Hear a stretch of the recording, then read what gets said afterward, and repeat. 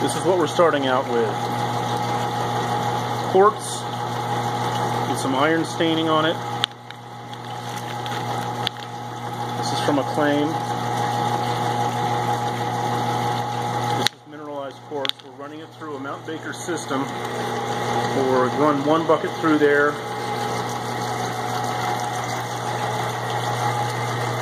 Shakes along the table.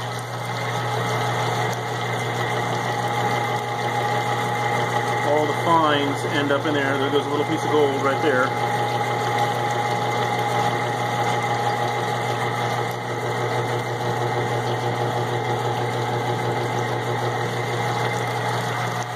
What's exciting is that one bucket of this material yielded all that gold.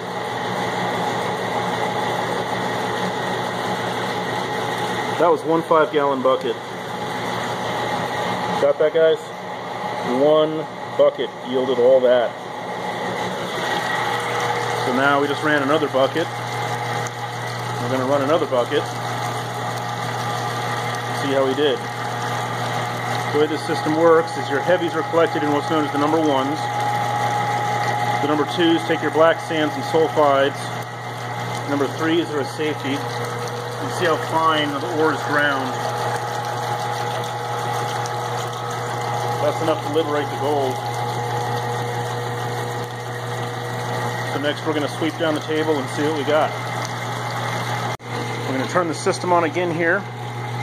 Again, we're going to be doing this type of quartz. This is rotted quartz. This is the sort of stuff they talked about in a lot of the old books. When they talk about rotted quartz, this is what they're talking about. Quartz that looks rotten. So we'll fire the machine up. Got a water flow coming out. Table running.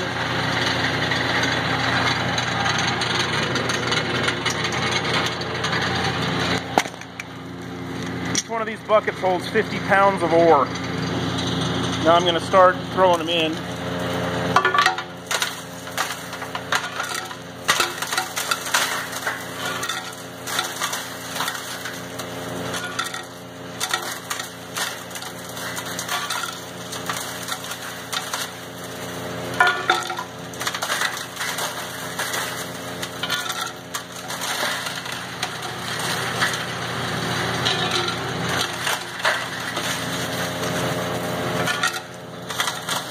Down now so I can actually use this thing.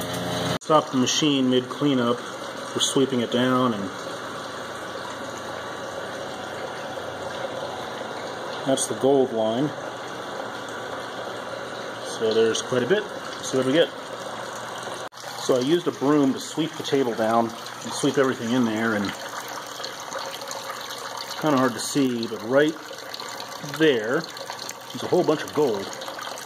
So that's one thing you want to be aware of is sometimes your values can be trapped in the machine. It's a real useful way to get this out. Just flush it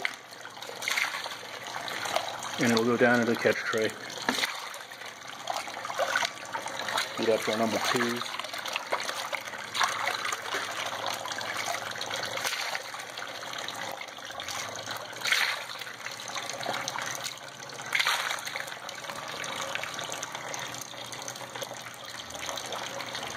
And that got a lot of it.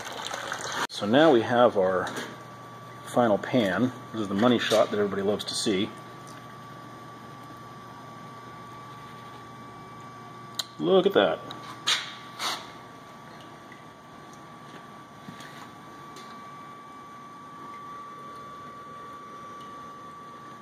That was six buckets of ore, yielded all that gold. So that's definitely an economic deposit.